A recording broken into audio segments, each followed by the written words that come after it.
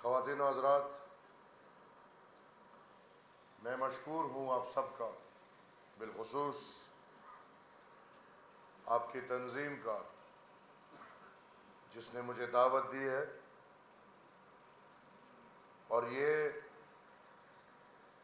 मेरे लिए बहुत बड़ी एजाज़ की बात है कि मैं कराची के इस गुलदस्ते के सामने और इसको मैं गुलदस्ता इसलिए कहूँगा कि ये वाहिद गुलदस्ता है, जिसमें पाकिस्तान के हर कौम का फूल शामिल है। ऐसा गुलदस्ता आपको पूरे पाकिस्तान में नहीं मिल सकता, जितनी कौमियतों की नुमाइंदगी कराची में होती है। मैं समझता हूँ कि ये पूरे पाकिस्तान में नहीं है। मेरे लिए एजाज़ की बात है कि मैं अपनी राय और अपना नज़रिया आपके सामने रखूँ। ख़वान हजरात वकला बरदरी, कौम, मुल्क और सरजमीन के लिए एक बुनियादी किरदार अदा करती है। मैं समझता हूँ कि कौम में वकला वो लोग हैं जो आइन को मद्नज़र रखते हुए कौम की आज़ादी, कौम की खुद मुख्तारी और कौम की बुनियादी हकूक़ के लिए काम करती है।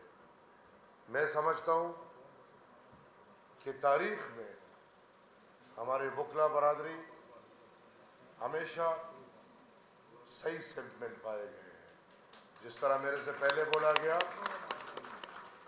कराची बार, इस तरह काफ़ी बार हैं जो तारीख़ में उनका रास्ता बिल्कुल सही पाया गया है और मैं समझता हूँ कि वकला को मज़ीद काम करना होगा।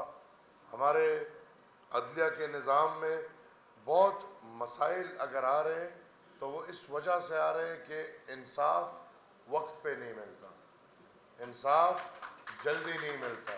लिहाजा मैं समझता हूँ कि वकला इस पे बहुत काम करें कि हमें या आवाम को स्पीडी जस्टिस मिले। इंसाफ वक्त पे मिले। हमने पाकिस्तान में देखा है कि लोगों को सज़ाए मौत हो जाती है। उसके दस साल बाद उनका फ़ैसला आता है। उनको कहीं इंसाफ मिलता है। आ, लोग मर जाते हैं। इधर ऐसे केसेस हैं कि दादा ने केस किया होता है उसको बेटा भी निपटाता है पोता भी निपटा रहा होता है कहीं पर पोते तक पहुँच जाते हैं लेकिन इंसाफ नहीं होता। आ, मैं समझता हूँ कि वकला को स्पीडी जस्टिस के लिए एक बहुत इम्पोर्टेंट रोल अदा करना होगा और मैं ख़ुद सियासत में जमहूरीत में ये दावा रखता हूँ कि मेरी एक सौ साल तारीख़ है और मैं आपके सामने उस तारीख़, उस नज़रिए के चौथे नस्ल में, अल्हम्दुलिल्लाह, पाकिस्तान के नक्शे में आपको चौथे नस्ल वाला कोई नहीं, ये शायद क्रेडिट भी मुझे जाता है और ये ज़िम्मेवारी भी खुशकस्मती समझ ले, बदकिस्मती समझ ले कि हम चौथे नस्ल में आपके सामने उस ख़ानदान का वारिस जो तारीख़ लिखता है कि मेरा परदादा मेरा दादा और मेरा वालिद एक ही वक्त में तीन नस्ल कैद थे। उन पे आ, कोई करप्शन के चार्जेस नहीं थे। उन पे आ, कोई क्रिमिनल चार्जेस नहीं थे। उन पे कोई मॉरल चार्जेस नहीं थे, बल्कि उनकी कैद और बंदीवान का वजह सिर्फ़ सुप्रीमसी ऑफ़ पार्लियामेंट इंसानी हकूक़ इंडिपेंडेंट जुडिशरी और फ्रीडम ऑफ़ स्पीच पे था। ये वो जुराइम जिनकी वजह से ख़ान अब्दुल गफ़ार ख़ान जिसको बाचा ख़ान के नाम से याद किया जाता है, उन्होंने उनतालीस साल कैद जिला वतनी गुजारी। उनतालीस साल का मतलब उनकी ज़िंदगी की हर तीसरी रात तकरीबन जेल में गुजरी है और उनकी ज़िंदगी की हर दूसरी रात जिला वतनी में गुजरी है। उन पर भी ना कोई क्रिमिनल केस था, ना कोई मॉरल केस था और ना कोई करप्शन का केस था। बल्कि उनको वाहिद वाहिद कौम की आज़ादी इंसानी हकूक़ बुनियादी हकूक़ जमहूरी बालादस्ती फ्रीडम ऑफ़ स्पीच और इंडिपेंडेंस ऑफ़ जुडिशरी इन सब बातों पे uh, uh, उनको कैद किया गया। सेक्रेटरी साहब ने बात की। मैं इसके साथ एक बात जोड़ना चाहता हूँ। 12 मई 2007 मैं मानता हूँ कि वकला की कुर्बानियाँ थी।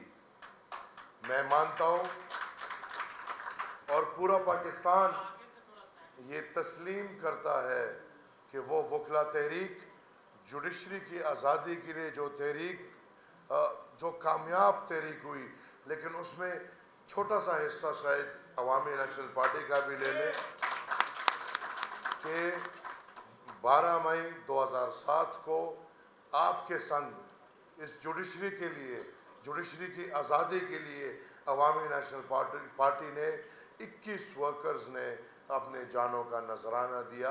गोलियों के सामने अपने सीने पेश किए, लेकिन आपके संग खड़े हुए, आपके साथ खड़े हुए। आज मैं जनाब खान अब्दुल अली ख़ान को भी खराज तहसीन पेश करूँगा।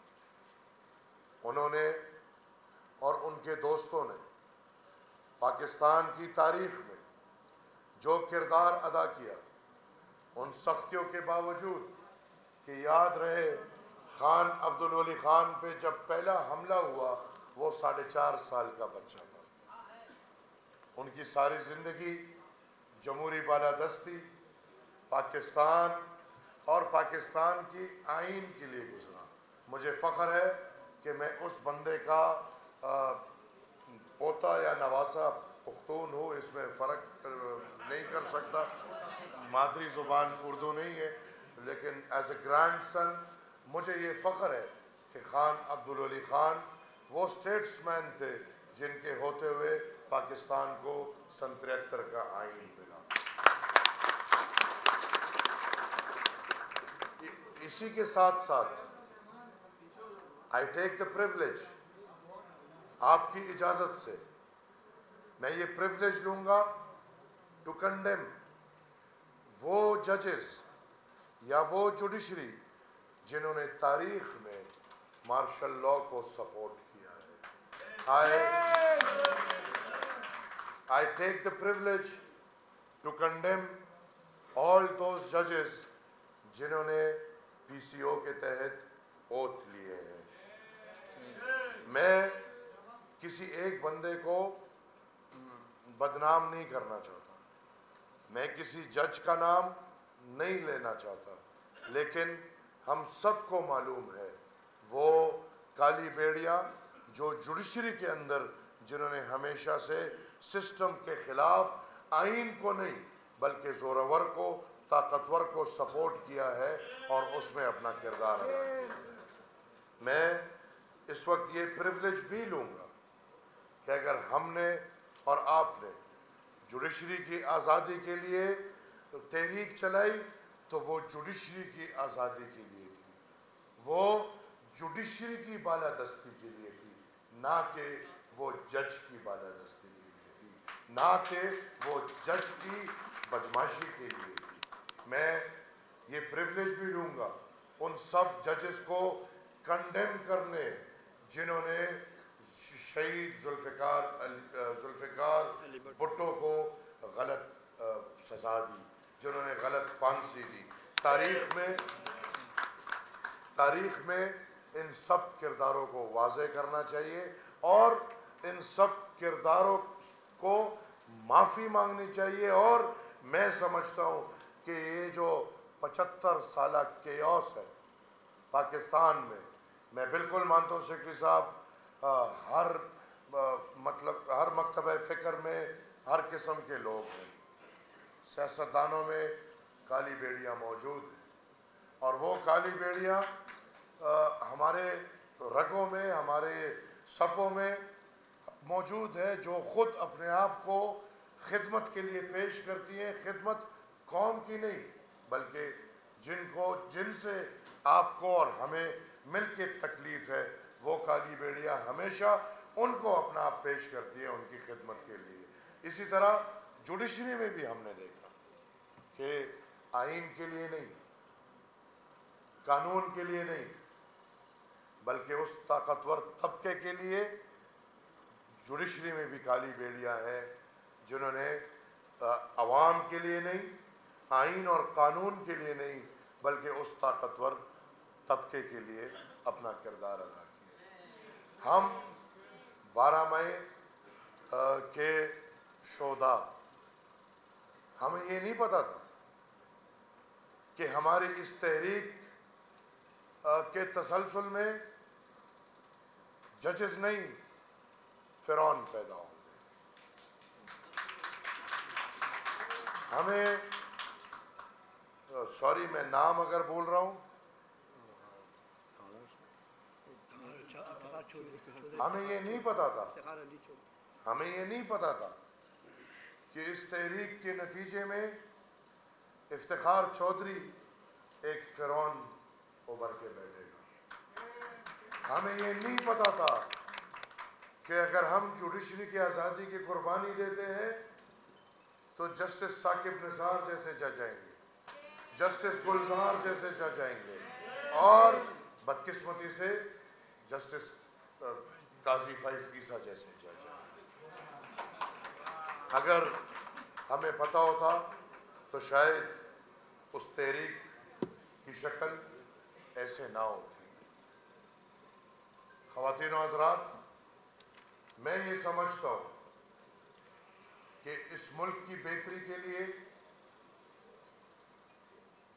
पाकिस्तान को आगे बढ़ने के लिए पार्लियामान की बालादस्ती इंतहाई ज़रूरी है। हमने ये देखा कि साकिब निसार जैसा जज मीडिया पे आके बोलते कि चार पाँच एम पी एस इधर उधर करना मेरे बाएँ हाथ का खेल है। हमने आके देखा कि सासू माँ की अदालतें चलने लग गई। हमने देखा कि ट्रकों पे फैसले होने लग गए। बिल्कुल। इंडिपेंडेंस ऑफ़ जुडिशरी जो पिलर्स हैं इस मुल्क के, जिसमें जमहूरियत है, पार्लियामान है, जिसमें जजेस है जुडिशरी है, जिसमें मीडिया है, फ्रीडम ऑफ़ स्पीच है। अवामी नेशनल पार्टी ये समझती है कि इन सब पिलर्स को आज़ाद होना चाहिए। और एक भी इदारे को, एक एक भी इदारे को दूसरे इदारे के दायरे इख्तियार में अमल दखल नहीं लेना चाहिए और नहीं करना चाहिए। वो जो भी इदारा हो, वो जितना भी जोरावर हो, उसके पास जितना भी ताकत हो, मैं ये समझता हूँ कि पार्लिमान की बालादस्ती को मद्देनज़र रखते हुए हर इदारे को और उन इदारों में हमारा दिफाई इदारा अवलिन आता है। इन सबको अपने दायरे इख्तियार के अंदर रहते हुए पाकिस्तान के लिए काम करना चाहिए। ख़वान हजरात, ये एक मशहूर कहावत है कि जजेस नहीं बोलते, जजेस के फैसले बोलते हैं। लेकिन पाकिस्तान में बदकिस्मती से जजेस बोलते हैं। और बहुत बोलते हैं।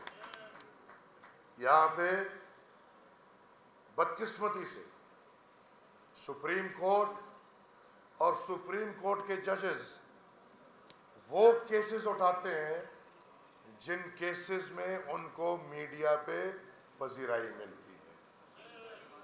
यहाँ पे बदकिस्मती से सुप्रीम कोर्ट में lock and as we and you, आप लोग, आइन के स्टूडेंट्स और इसी आइन के एक्सपीरियंस तरीन लोग, जब हम ये जानते हैं कि सुप्रीम कोर्ट सिर्फ़ और सिर्फ़ एपेलेट कोर्ट है। वहाँ पे अपीलें नहीं सुनी जा रही। वहाँ पे लाखों की तादाद में अवाम की अपीलें नहीं सुनी जा रही। बल्कि साल साल सिर्फ़ वो केसेस उठाए जाते हैं जिनमें जुडिशरी अच्छे रिमार्क्स दे। जिनमें जुडिशरी सुबह से रात तक टीवी चैनल्स पे चले। इनका तो कोई हल निकालना होगा। खातिन हजरात,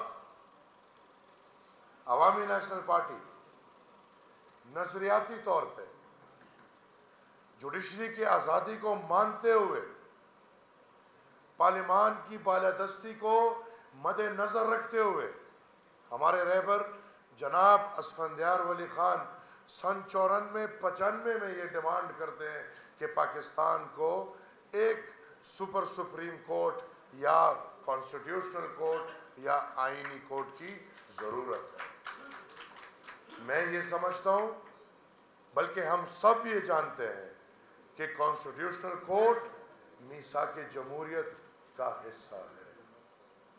इसमें कोई जल्दबाजी नहीं हो रही।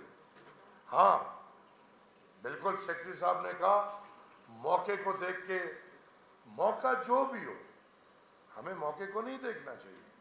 मैं ये समझता हूँ कि हमें अमल को देखना चाहिए। बल्कि क्यों ना इस मौके को, जिस मौके का मुझे और आप सबको इलम है मैं एक पार्लिमानी रुकन होते हुए ये क्यों ना इस मौके को इस्तेमाल करके पार्लिमान को मज़बूत करो। पार्लिमान को बालादस्त करो। और बिल्कुल, कानून साजी में बातें हो सकती हैं। मैं आपके इस नज़रिए के साथ हूँ, क्योंकि मैं भी उस पंद्रह फ़ीसद तबके से नहीं हूँ जिनके लिए पाकिस्तान बना है या जो आज तक पाकिस्तान में मज़े कर रहे हैं। मैं आपसे ज़्यादा मजलूम हूँ। मेरी कौम आपसे ज़्यादा मजलूम है। लिहाजा मैं आपके इन सब नुकात के साथ खड़ा हूँ जो सदर साहब ने बोला। कॉन्स्टिट्यूशन कोर्ट में हर कौम को अपना हक मिलना चाहिए। बिल्कुल आ, मैं तो एक हद आगे बढ़ूँगा। ये जो रिटायर्ड जजेस को लिया जाता है बिल्कुल गलत है और ये नहीं होना चाहिए। ये जो एडहॉक जजेस को लिया जाता है, बिल्कुल गलत है और नहीं लेना चाहिए। आप क्या समझते हैं, वकला बरदरी? ये जो हाई कोर्ट से डायरेक्ट वकील जज बन जाते हैं, क्या ये ठीक अमल है कि ये गलत अमल है? मैं ये समझता हूँ। मैं ये समझता हूँ कि सबसे बड़ी गलती इधर होती है जब हम डायरेक्ट हाई कोर्ट के लॉयर्स को नवाजते हैं और उनको जज बनाते हैं। बदकिस्मती से। आप बिल्कुल मेरी बात के साथ इत्तेफाक ना करें, लेकिन ये मेरी राय है। और मैनिपुलेशन अगर जुडिशरी में हुई है तो उन्हीं जजेस ने ज़्यादातर की है जो हाई कोर्ट में डायरेक्ट वकला बढ़ के हाई कोर्ट में जजेस ने क्योंकि मुझे भी पता है और आपको भी पता है कि उन वकला को जजेस कौन बनाता है। किन की खिदमत की जाती है तो फिर वो जजेस बनते हैं। और इसके साथ साथ मैं ये भी डिमांड रखता हूँ। हमारे देखिए डीएमजी ग्रुप हो गया सिविल सर्विसेज़ वाले हो गए। वो जब इम्तिहान पास करते हैं, इम्तिहान पास करने के बाद वो साल, डेढ़ साल ट्रेनिंग करते हैं। इधर क्या है लोअर कोर्ट्स में जज इम्तिहान पास करते हैं, सीधा जाके फैसले करना शुरू कर देते एक निज़ाम होना चाहिए जुडिशरी के लिए ट्रेनिंग का निज़ाम होना चाहिए। और ये लोअर कोर्ट से शुरू हो वो जजेस जो फ्रेश एग्ज़ाम दे के आ रहे हैं, उनका ट्रेनिंग का कोर्स होना चाहिए। उनको पाकिस्तान दिखाओ, उनको सिस्टम दिखाओ, उनको पता नहीं पाकिस्तान क्या है, उनको पता नहीं पार्लियामान क्या है, उनको पता नहीं अदालत क्या है। आके बैठ के पहले दिन ही फैसले करना शुरू कर देते हैं, और उधर ही खराबियाँ आती मैं बहुत थोड़ी तीन महीना, दो माह की ट्रेनिंग इसको मैं ट्रेनिंग नहीं समझता। काजी काजी इस दुनिया पे खुदा के बाद है। जो उसके सामने खड़ा है, उसका या खुदा है या वो काजी है। उसने गलत फैसला कर दिया तो बंदा तबाह हो गया। मैं ये समझता हूँ कि कराची में जिस तरह सुप्रीम कोर्ट का एक बेंच तो नहीं कह सकते, लेकिन रजिस्ट्री है। अवामी नेशनल पार्टी ये डिमांड करती है कि तमाम तर सूबों के हेडकोार्टर्स में सुप्रीम सुप्रीम कोर्ट का बाकायदा बेंच जो रोज़ाना बैठे कि इन सूबों के लोग इस्लामाबाद ना जाए, बल्कि अपने दारखिलाफ़ों में उनको इंसाफ मिले। अवामी नेशनल पार्टी ने बलूचिस्तान की महरूमे के लिए ये डिमांड बाकी बलूचिस्तान के मेंबर्स के साथ मिल के रखा था कि बलूचिस्तान के सूबाई जो सीट्स हैं, उनमें इजाफा हो और हमने उनकी महरूमे के लिए ये भी कहा है कि कोई ऐसा फार्मूला लाया जाए जहाँ पे इनकी कौमी असम्बली में भी नशस्तें बढ़े और बलूचिस्तान की कोई साख बन जाए, उनकी कोई अहमियत बन जाए। ख़वान हजरात, सदियों मेहनत के बाद अठारहवीं आईनी तरमीम कामयाब हुई। इसके लिए हमें पता है, सिंधियों को पता है महाजर को पता है, हर पाकिस्तान के जो भी छोटी कौमियत है, बलोचों को पता है, हज़ारा को पता है कि ये एटीन अमेंडमेंट के लिए हम सबने कितनी कुर्बानियाँ दी हैं और कितने मुश्किलों के बाद अठारहवीं आइनी तरमीम कामयाब हुई थी। याद रहे ख़वान हजरात उन्नीसवीं आइनी तरमीम पाकिस्तान मुस्लिम लीग को इस्तेमाल करते हुए इफ्तार चौधरी ने बंदूक के नोक पे तमाम सियासतदानों से पास कराया आज जो आइनी तब्दीली आ रही है अगर इसमें आप देखें तो इन उन्नीसवीं आईनी तरमीम ख़त्म होके वापस अठारहवीं आइनी तरमीम की तरफ़ जा रहे हैं और ये अठारहवीं आईनी तरमीम में ये क्लॉज था कि पार्लियामान की बालादस्ती रखते हुए जज और चीफ जस्टिस का चुनाव पार्लिमानी दस्तूर करें। मैं इसके साथ इत्तेफाक करता हूँ। बिल्कुल ज़रूरी नहीं कि हम सब नज़रियाती एक लाइन में चले। लेकिन मैं बिल्कुल इसके साथ इत्तेफाक करता हूँ, क्योंकि क्योंकि हर तस्वीर के दो रुख होते हैं।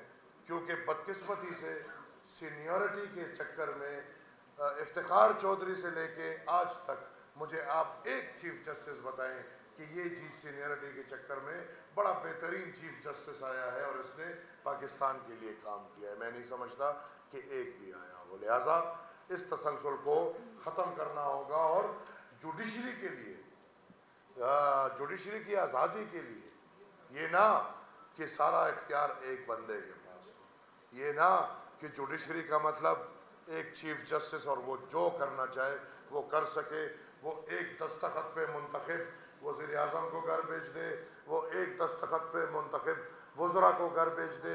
मेरे ख्याल में इस माहौल के साथ साथ अठारहवीं आइनी तरमीम में हमें बड़े मुश्किल से अपनी शनाख्त मिली। पुख्तनों पर उसमें हमारे साथ क्या हुआ? उस वक्त खैबर मिला दिया। खैबर पुख्तनख्वा नाम रखना ऐसे है कि हम कहें कि आप सिंध का नाम रख लें, हैदराबाद सिंध। या आप बलूचिस्तान का नाम रख लें, गवादर बलूचिस्तान। या आप पंजाब का नाम रख ले, मुल्तान पंजाब बावल नगर पंजाब। खैबर हमारा एक ज़िला है, एक पास है। और उसके साथ क्या हुआ कि हमें अब सब नाम नहीं ले रहे भाई के पी के कोई के पी कोई पी के कोई के पी के लिहाजा अवामी नेशनल पार्टी और मैंने इस आइनी तरमीम में ये भी तजवीज़ की है कि खुदारा, ये खैबर को ख़त्म करो, शनाख्त हमें दे दो पुख्तनख्वा हमें दे दो ताकि लोग हमें पुख्तनख्वा को बताओ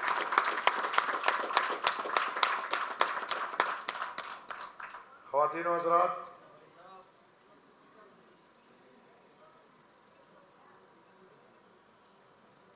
मैं ये समझता हूँ कि पाकिस्तान मुल्क और इस मुल्क के अंदर रहते हुए तमाम कौमियतें टाइम बॉम्ब के ऊपर ज़िंदगी गुजार। याद रहे कि जब तक एक मुल्क, एक कौम, एक ज़मीन पे अमन नहीं होता, उस मुल्क, उस कौम या उस ज़मीन कभी तरक्की नहीं कर सकता। आपकी मीशत कभी भी बेहतर नहीं हो सकती, जब तक आपकी ज़मीन पे अमन ना हो। और इस वक्त हमारी रियासत जिसको ये आदत है कि उसने जंग पे अपनी इकोनॉमी चलानी है। जिसको ये आदत है कि उसने बंदूक का इस्तेमाल करके पैसे कमाने हैं, उसने इस मुल्क को इस नहज पे ले आए हैं कि आज हकीकता हम और आप टाइम बॉम्ब पे ज़िंदगी गुजार रहे ये पता नहीं चल रहा कि ये बॉम्ब कब ये बलूचिस्तान में पटेगा, ये बॉम्ब पुख्तनख्वा में पटेगा, ये कच्चे में पटेगा, ये पक्के में पटेगा, बदकिस्मती से यहाँ पे जो डाकू कल्चर है, जो कच्चे के डाकू, पक्के के डाकू, उन्होंने इस मुल्क को बिल्कुल लीच की तरह पकड़ा और हम और आपके लिए फिर बदकिस्मती की बात कि फिर सामने बोला जाता है कि अगर इस मुल्क के लिए पचास हज़ार लोग मरते हैं तो ये कोई बहुत बड़ी बात नहीं। मुझे एक जनरल साहब ने ये बात की, मैंने कहा, जी। मैंने कहा, जी जनरल साहब, एक मुल्क के लिए पचास हज़ार बंदे मरना, कुर्बानी करना छोटी बात है, मैं दुआ ये करूँगा कि काश उन पचास हज़ार में आपके बच्चे भी मैं दुआ ये करूँगा कि उन पचास हज़ार में आपके बुज़ुर्ग भी हों। उन पचास हज़ार में आपकी औरतें भी हो, एकदम लड़ने लग गया। मैंने कहा, अभी तक पचास हज़ार कम थे, अभी एक भी ज़्यादा हो गया। मैंने कहा, जनरल साहब, आप इन पचास हज़ार का भी एक एक अपने बच्चे की तरह समझे तब ये कौम तरक्की करे। हम बदकिस्मती से आज एक दफ़ा फिर पराए जंग में अपने कौम को ईंधन बना रहे हैं। पाकिस्तान को क्यों हमेशा पराए जंगों में हिस्सादारी करनी होती है? कोल्ड वॉर में हमारी जंग नहीं थी। अमेरिका और रूस की लड़ाई थी। हम बीच में घुस गए। हमने पैसे कमा लिए। लेकिन मेरे दादा तब भी ये कहते थे कि हाथियों की लड़ाई है, मेंढक जो है वो कुचल जाएँगे। वो हाथी आए, मेंढक कुचल गए, ज़मीन तबाह, कौम तबाह, वो दोनों मज़े में, एक गम में वापस, एक खुशी में वापस, आज तक पचास साल हो गए हैं कि अफ़गानिस्तान बिलखसूस और फिर पाकिस्तान स्टेबल नहीं हो रहा आज हम एक दफ़ा फिर एक और लड़ाई में घुस गए। आज हम चीन और अमेरिका के बीच, और याद रहे कि एक बहुत ख़तरनाक किरदार अदा कर रहे हैं। पैसों की खातिर वाहिद लालच पैसा है। पैसों की खातिर हम एक दफ़ा फिर अपने कौम को आग के सामने धकेल रहे हमें चीन और अमेरिका के बीच में कुछ लेना देना नहीं चाहिए। बल्कि हमें रिवायती तौर पे अपने नज़रिए को बदल के, स्टेट को, रियासत को, ये जो जंगी नज़रिया है, इसको बदल के अपने मुल्क की साख की खातिर, क्योंकि हमने सारी ज़िंदगी हर मुल्क में गलत हरकत की। हमने अफ़गानिस्तान को डिस्टेबलाइज किया। हमने हिंदुस्तान में अपनी हरकतें की। चीन में सिंकियान सूबा बहुत अरसे तक हमारी वजह से दहशत का मरकज रहा है। इसी तरह ईरान में ये अब छुपी हुई बातें नहीं है। और अब हम चीख रहे कि वो ममालिक पाकिस्तान में अमल दखल कर रहे मेरे दादा एक बात करते थे कि अगर आप किसी के घर कंकरी फेंकेंगे तो आप ये तस्वर ना करें। कि उस घर से आपकी तरफ़ फूल आएगा बल्कि उस घर से आपकी तरफ़ उस कंकरी से बड़ा पत्थर आएगा आज इस कौम को हमने जिस आग के सामने खड़ा कर दिया है, इसका जिम्मेवार वाहिद और वाहिद हमारा पाकिस्तान का दिफाई इदारा है। उस दिफाई इदारे के गलत पॉलिसियाँ हैं, जिन गलत पॉलिसियों की वजह से पाकिस्तान एक गैर मुस्तकम मुल्क बन गया है। मैं समझता हूँ कि उन दिफाई इदारों को तारीखी तौर पर अपने नज़रिए से हट के जो तारीखी गलतियाँ की हैं, उनकी माफ़िया मांगनी चाहिए। जिन जिन के साथ जुल्म किया है, उन सबसे माफ़िया मांगनी चाहिए और कौम को ये दलासा और डांट देना चाहिए कि इसके बाद ये लोग अपने कौम को अपने बच्चों की तरह पालेंगे। ये नहीं कि सौतेले बच्चों की तरह पालेंगे और अगर हम ये अकदाम जल्द अज जल्द नहीं उठाते तो ये टाइम बॉम्ब फटेगा। और मेरे भाइयों, मेरी बहनों, आपने देखा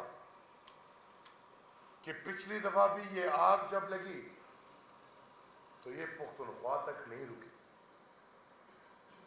बल्कि वो आग फैल के कराची शहर तक पहुँची। आप क्या समझते हैं कि इस दफ़ा वो आग रुक जाएगी? मैं ये समझता हूँ कि इस दफ़ा उससे ज़्यादा ख़तरनाक है और उससे ज़्यादा हद तक ये आग फैलेगी। आज पुख्तनख्वा पुलिस के रिट में नहीं है। आज आधा पुख्तनख्वा दहशत गर्दों के रिट में है। ख़तरनाक सूरत हाल है। पुख्तनख्वा पे मैं सियासी बात नहीं करना चाहूँगा और, और किसी को बुरी लगे मैं पहले से माजरत करूँगा। लेकिन पुख्तनख्वा कॉम्प्रोमाइज है। उधर हुकूमत उन दहशत गर्दों के हामियों को दी गई है। उधर की हुकूमत ने या उस पार्टी है जिसने ये फैसला किया है कि वो चालीस हज़ार दहशत गर्द ला के पुख्तनख्वा में सेटल किए हैं।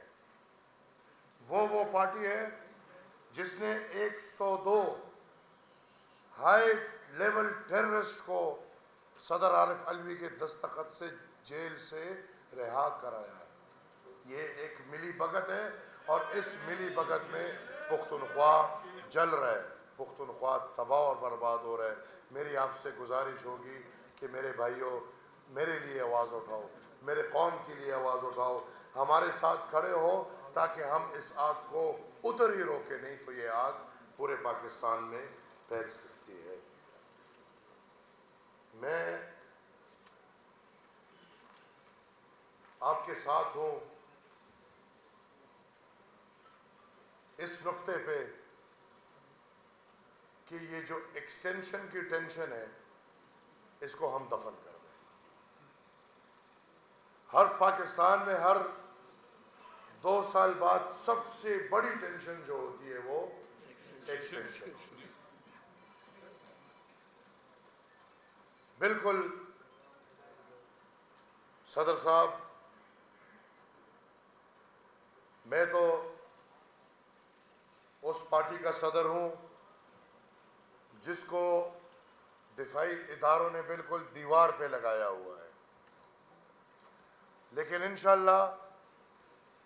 मेरे बुज़ुर्गों ने मुझे ये सिखाया है कि जब हम दीवार पे लग जाते हैं तो पीछे मजीद जा नहीं सकते। फिर हमारे पास दो रास्ते हैं। या पैर पड़ेंगे, या ग्रेबान पड़ेंगे। इन पुख्तून है, बादशाह खान के पैरोकार हैं। ये तसल्ली देता हूँ कि पैर कभी नहीं पड़ेंगे। हाथ टूट जाए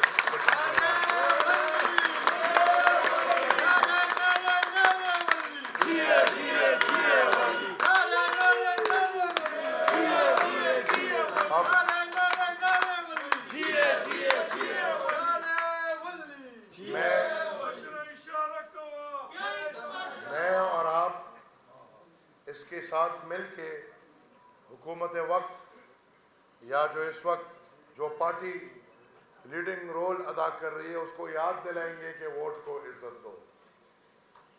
उनको बार बार हम याद दिलाएँगे कि वोट को इज़्ज़त दो। क्योंकि क्योंकि चार साल पहले जो वो वोट को इज़्ज़त दे रहे थे, आज वो वोट में बदल गया है। आज वो वोट को इज़्ज़त नहीं दे रहे। मैं इंशाल्लाह आपके साथ खड़े होकर इन सब डिमांड्स पे बात करूँगा। उम्मीद रखूँगा कि जो बड़ी जमातें हैं, जो इस वक्त कॉरिडोर्स में मज़े ले रही हैं। उम्मीद रखूँगा कि वो भी हमारे साथ ये आवाज़ उठाएँ। और आ, मैं एक ये नहीं कि मेरी ख्वाहिश है एक वजाहत पाकिस्तान की जो महाशी सूरत हाल है उसमें ये वाला साल और आने वाले साल बड़े मुश्किल हम वो मुल्क हैं जो कर्जे के लिए तरस रहे हैं और कर्जा मिलने पे जश्न मनाते हैं। हम, मैं ये समझता हूँ, मैं इसको सपोर्ट नहीं करता। जो एज एक्सटेंशन है, इसको मैं कतन सपोर्ट नहीं करता। रिटायरमेंट इज़ रिटायरमेंट पाकिस्तान में बदकिस्मती से बाकी इदारे रिटायर हो जाते हैं, लेकिन फ़ौजी के भी रिटायर नहीं होते। और वो रिटायरमेंट के बाद भी मज़े तो मरते दम तक लेते हैं। मैं समझता हूँ कि एक्सटेंशंस रीअपॉइंटमेंट्स और रिटायरमेंट के बाद दूसरे इदारों में जाके लगवाना, ये बिल्कुल गलत काम है। और ये आवाम के साथ नाइंसाफ़ी है, ये आप आवाम का हक छीन लेकिन इसके साथ इस मुल्क को मसला है, और मसला आने वाले पेंशन्स का है। मैं इतना आपको बता दूँ कि ये जो एक्सटेंशन की बात हो रही है, तीन साल, ये तमाम मुलाजमीन की हो रही है। और उसकी जो वजह बता रहे हैं, वो ये है कि इन लोग अगर ये रिटायर होते हैं तो पेंशन के पैसे नहीं है देने। लिहाजा इस सब के लिए पाकिस्तान को आज़ादी, फिक्री और माशी। और मैं ये समझता हूँ कि हम माशी तौर पे अमेरिका और आईएमएफ के ग़ुलाम हैं, पाबंद हैं। जो आईएमएफ चाहेगा, हम वो करेंगे। जो अमेरिका चाहेगा हम वो करेंगे। लिहाजा बिल्कुल गलत अमल है, लेकिन कभी कभी मुल्क को मद्देनज़र रखते हुए, मुल्क की मुश्किल को मद्देनज़र रखते हुए कभी कभी कड़वे गोंद भी पीने पड़ते हैं। हम उस पोजीशन में बैठे हैं कि हमें किसी फ़र्द वाहिद का नहीं सोचना। आप ये यकीन करें कि अवामी नेशनल पार्टी ना जस्टिस काजी फैज ईसा को जानती है ना जस्टिस मंसूर अली शाह को जानती है अवामी नेशनल पार्टी ना फैज ईसा को पसंद करती है, ना मंसूर अली शाह को पसंद करती है। अवामी नेशनल पार्टी ना फैज ईसा से नफरत रखती है, ना मंसूर अली शाह से नफरत रखती है। हम सिस्टम को पसंद करते हैं और हम चाहते हैं कि पाकिस्तान का निज़ाम बेहतरीन तरीके से चले। इन मैं सेनेट में और जो स्पेशल कमेटी बनी है उसमें आपकी ये आवाज़ ज़रूर उठाऊँगा कि लॉयर्स का जो इनरोलमेंट सुप्रीम कोर्ट में होता है, उसमें जुडिशरी का किरदार ख़त्म हो, अपना टाइम अपना वक्त और लॉयर्स को लाइसेंस मशहूर हूँ एक दफ़ा फिर। तमाम यहाँ पे बैठे ख़वातीन और हजरात का। हर बार फंड मुख्त किया जाए गवर्नमेंट की तरफ़ से जो भी मेरी सदर साहब ने मुझे बोला इन मैं ये भी आवाज़ उठाऊँगा कि हर बार को हुकूमत की तरफ़ से फंड्स दिए जाएँ ताकि उनके मसाइल और मसले हल हो। सवाल जवाब मैं?